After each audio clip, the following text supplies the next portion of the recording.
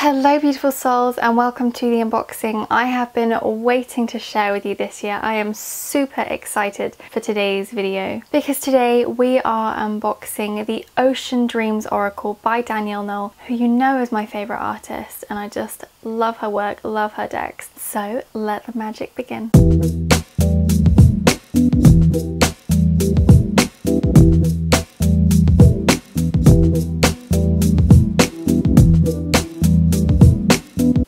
Here is my unopened package. I pre-ordered this from Stacey at Girl Love Luna and as you can see she has done some absolutely beautiful packaging. She's included a nice bit of incense. So let's dive in. I'm really excited to see this deck. I think I pre-ordered it maybe four or five months ago, could be longer. And honestly, I've been just, just waiting and seeing all the posts that Danielle has put up with all the information and the new bits. And I'm like, I can't wait to see it. So let's take a look. Here she is and we are so matchy matchy. Oh yes. so the first thing I'm noticing which I really like is there's no plastic around it. There's no shrink wrap.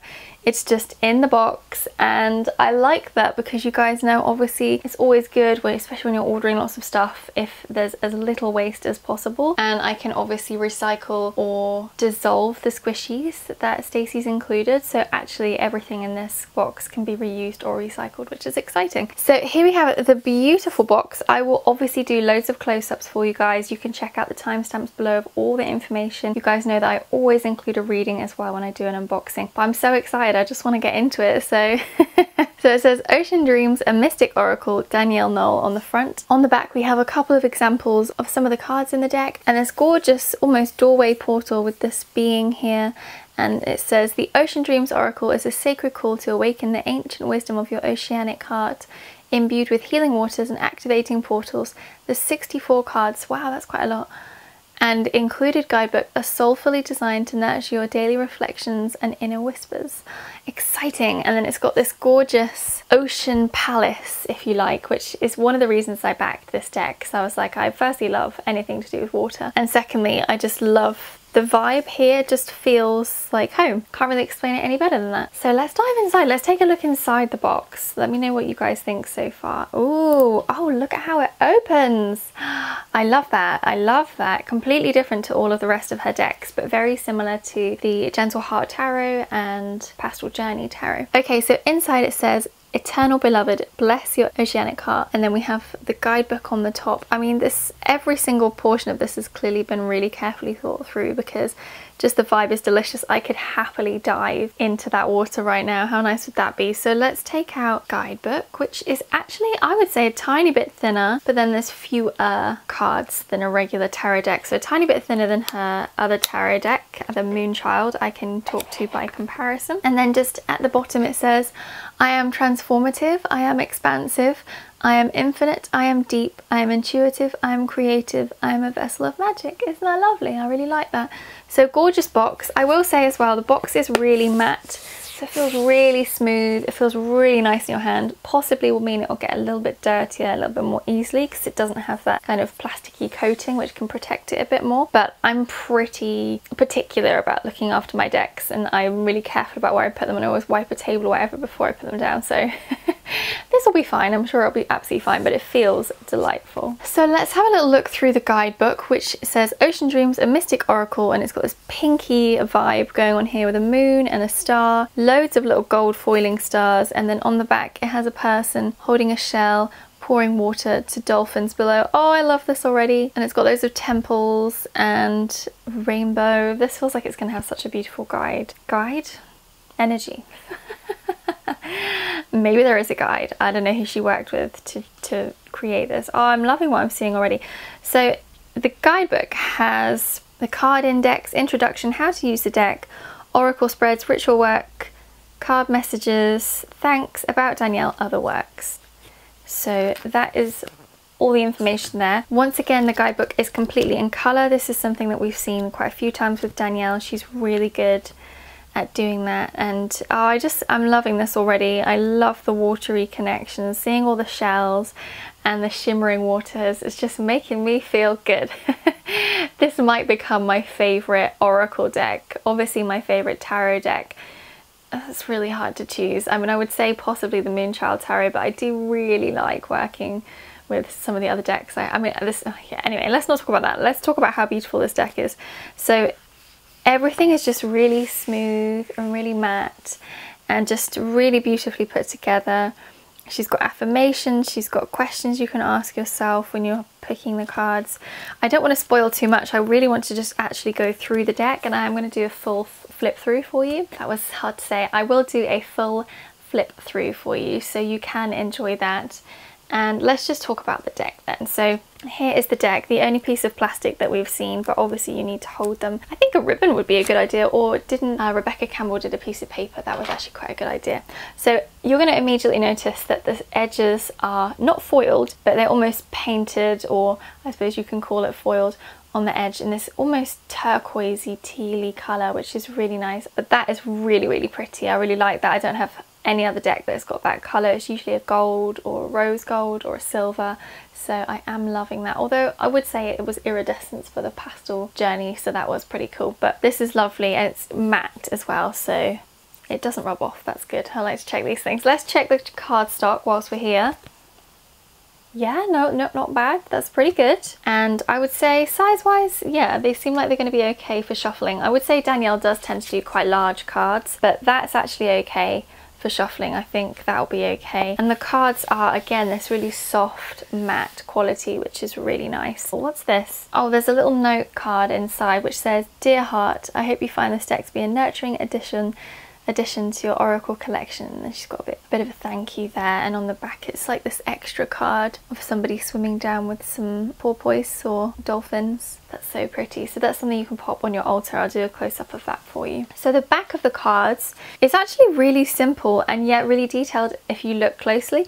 So at a distance you'd say oh well it's just you know a seabed with beautiful shimmering water. But actually if you get closer you can see the face of Hathor here and then you can almost see it's like a mirror image that she's done.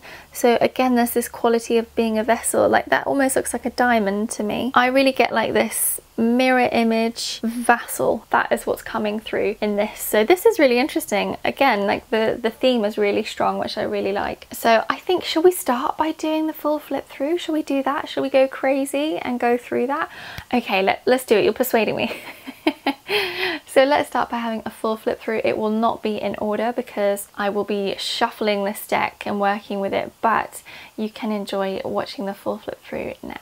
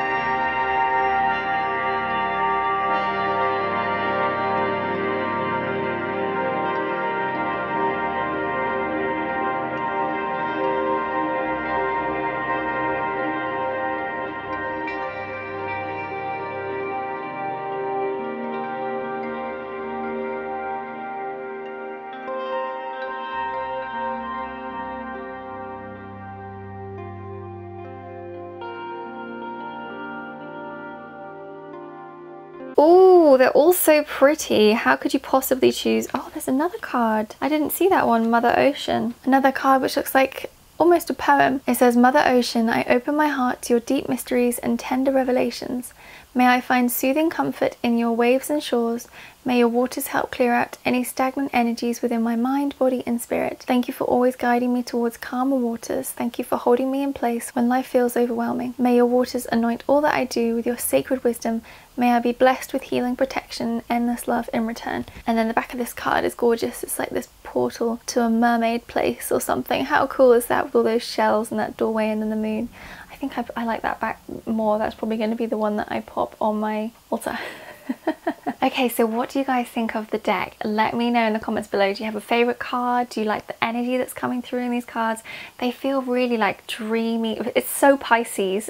it's like the most Pisces deck I've ever seen in my life and it just, I love it. I love it so much. It's just so dreamy, so watery, so soft, so feminine and just super ethereal. Like if I was to talk about a soul plan energy, it would 100% be a 5-5. Like 100%. Okay, so shall we pull some cards? Let's do a pick a card reading. I feel like this deck is just so insanely beautiful. We just need to work with it. We just need to use it. So I'm just going to quickly shuffle them off camera, tune into them and pull two cards from a pick a card reading. So you can just close your eyes and just tune in and just see what you most need to know in this now moment and just see what feels good for you when you open your eyes. Is it the card on the left, card one, or is it the card on the right, card two? Just tune in and see what feels the most aligned for you in this moment.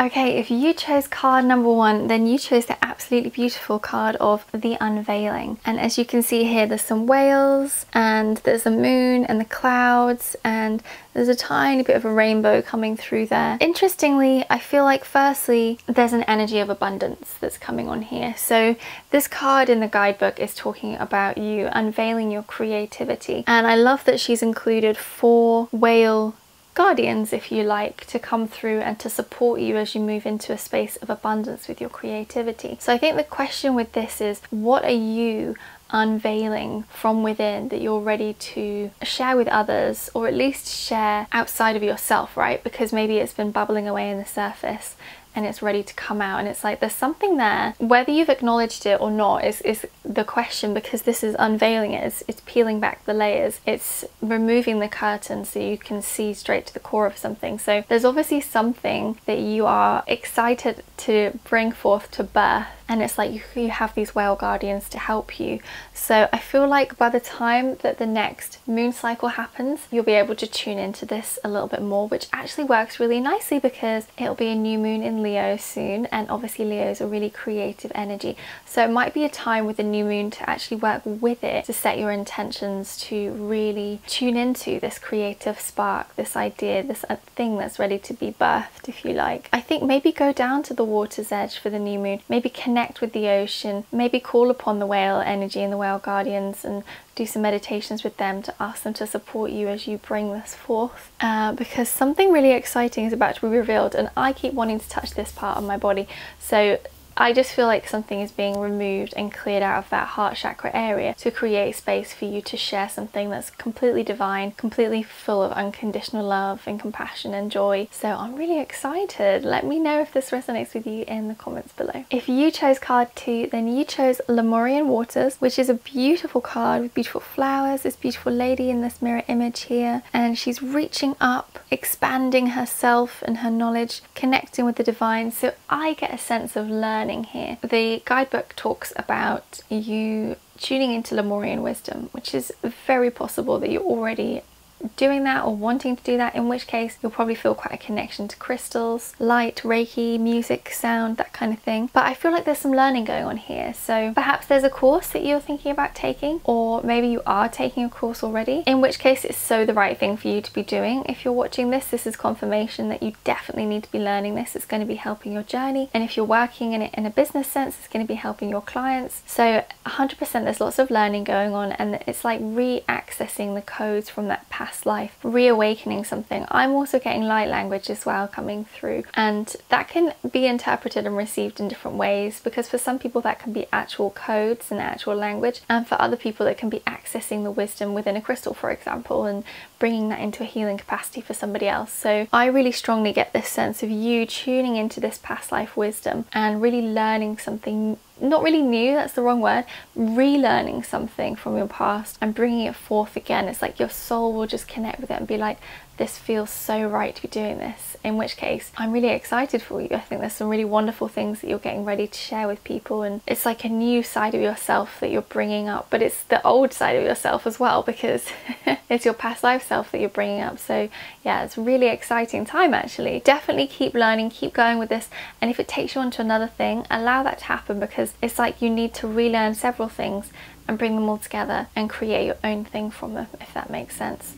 So let me know how this resonates with you in the comments below. So what do you guys think of this deck? I think it's absolutely stunning. I am very excited to be using it. I think this will probably become my new favourite because it's just stunning. I mean, I would expect that anyway from Danielle. Like she never disappoints, whether she's collaborating or doing her own thing. She just has the most beautiful ethereal energy in all of her work, which I love. For me, it's beautiful. So I think this is for somebody who is either new or well experienced with Oracle or Tarot because it's just one one of those decks that you can just tune into really easily. You know, like we talked about the Rose Oracle and how it was a bit more, you had to like really connect with it and understand the lineage of it. Whereas with this deck, if you like the ocean or if you like past lives or if you like ancient civilizations 100% this is a deck that you're going to enjoy and it doesn't matter if this is your first deck or your 51st deck I, I don't actually know how many I've got so probably closer to the 51st mark. So if you are either either end of those spectrums, then 100% this is going to be a beautiful deck to work with and to enjoy.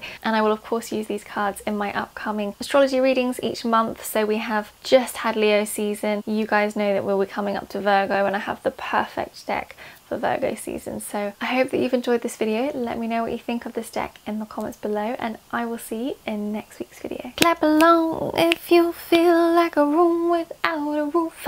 Clap along if you know what happiness is to you. Hey, hey, hey. And you will of course see it. And then on the back we have a couple of design illustrations. We have a couple of examples we have a couple of examples of illustrations. Why can't I speak? I received this, I ordered this. Oh, it's here. Nearly picked out the wrong box.